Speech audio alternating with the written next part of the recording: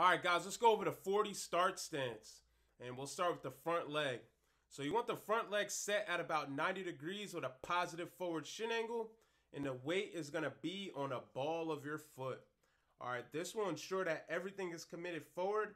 And I want you to notice that the front knee is over the front toe. All right, super important.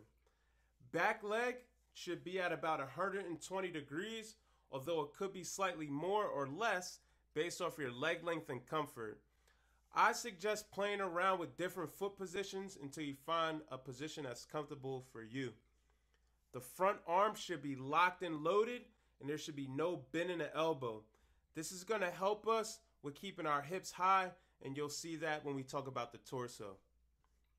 The back arm hand should be placed at the hip pocket.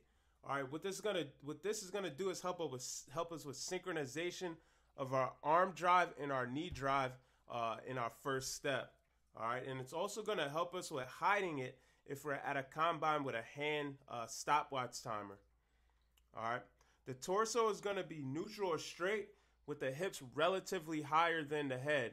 And again, we're going to talk about that front arm. That front arm is going to play a role here. If there's bend in the elbow, right, it's going to be hard for you to keep those hips high. And the reason why you want those hips high is because, is because it's going to help us with commitment forward. All right, we want to get everything committed forward. The eyes should be straight down or on your front shoelaces, and that's just a preference. The main point here is making sure that you're not looking forward because if you look forward, you're more than likely to pop up in your first uh, step as opposed to driving out. And then your weight distribution, you want about 80% of your weight on your front leg.